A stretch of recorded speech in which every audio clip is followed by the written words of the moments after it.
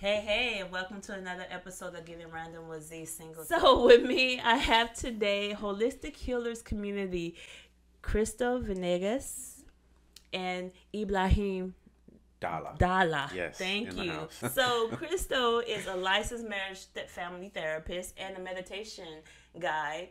Ibrahim is a licensed ma- uh, massage practitioner and recently, over what the last Eh, years, Health coach as well. health coach. Yes. Yes. I know that you said that you met like about a year ago. Mm-hmm. Yes. What actually brought you two together? we just thought, hey, wouldn't it be so cool? Everybody I've been networking with and meeting in this realm, mm-hmm. everybody you've been networking and meeting in this realm, to bring them all together. I can provide therapy, but that in and of itself for people sometimes isn't enough.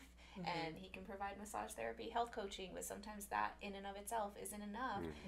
It works best when when you have that yeah holistic that that that approach where you're you're doing a lot of different things in order to ensure that people are receiving everything that they need to in order to heal.